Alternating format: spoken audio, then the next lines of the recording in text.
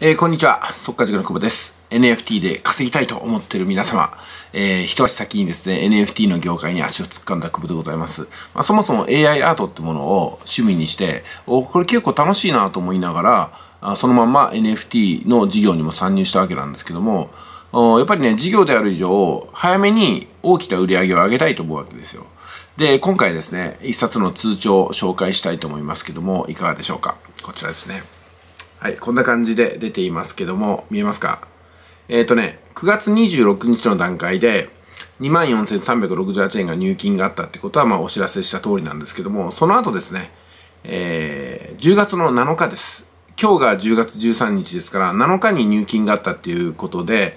ちょっとね、遅れたんですけども、今日書き込みに行ってきました。そうすると、えっ、ー、と、70万ということでね、えー、もうこのぐらいの売り上げ上がる、NFT の業界っていうのは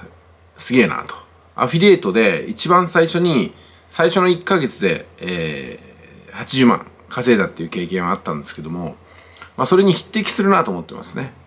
えー、もちろん、この NFT の業界ですけども、どこまで広がっていくのかわかりませんし、どこでどういうふうに変化したり、また終わっていくのかってこと、これわかりません。わかりませんけども、わからないからこそ、誰よりも早く一歩前に出てね、えー、体験したことや見たこと、聞いたことを、皆様にお伝えすることができるんじゃないかなと思います。私はできるだけ早く、そして遠くから高くからいろんな視点で見ることにより、皆様の判断材料を一つでもね、広げていただければと思います。もちろん、バラ色の人生が NFT によってもたらされるかどうか、これわかりません。やっぱどんな業界でもうまくいく人とうまくいかない人っているわけなんですよ。だからって言って全部がいいとか全部が悪いってものではなくて、自分の求めるものをどうやって作っていくか、作り上げていくかってことなんじゃないかなと思うんですよね。えー、ですので、ほっといてどうにかなるってものではないのは今までと一緒です。NFT の世界ではどんなことをすればいいのかってことを学びながら、それに忠実に従うことによって成果って得れるんじゃないかなと思いますよね。はい、えー、ということで、えー、今日はね、私の3ヶ月目の売り上げ、そして1ヶ月目は何もなかったんですけど、2ヶ月目の売り上げね、こちらの方を紹介させてもらいました。皆さんどういうふうにお感じになったでしょうかね。そしてここでお知らせなんですけども、10月の23日、まだ会場は取ってませんけども、えー、広島市内、クリスタルビルの TKP プラザあたりでですね、20人ぐらい入れるような会場をちょっと用意して、えー、一つね、えー、講演会をしようかと思います。えっ、ー、と、講演内容は、あ国連の古賀健二先生と、NFT 美術館の館長、山口館長ですね。この方に来ていただくのと、あとは NFT 事業の会社をされている、その関係の方をね、お一人お呼びして3人で、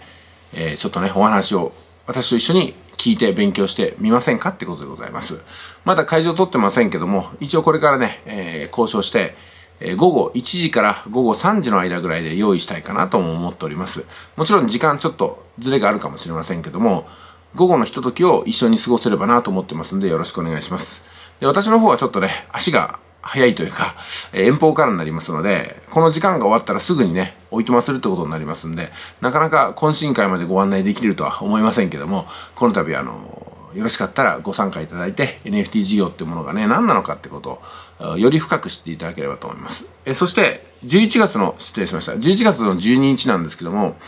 えー、山口館長の計らいでですね NFT 美術館、えー、ナルト美術館の見学ツアーが用意されております。これ残念ながらね私ね11月11 12日か。11月12日が NFT 美術館の集合日になってるんですけども、私の方はね、地域のお祭りがありましてね、そちらの方に、えー、出演することになっておりますので、残念ながら、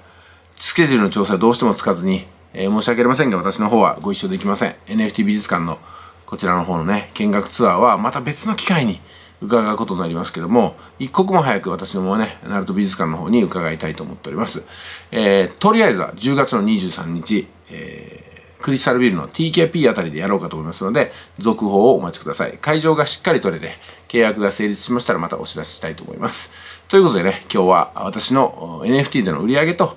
あとは、何ですかね、その、講演会ですね、こちらの方のお話をさせていただきました。よろしくお願いします。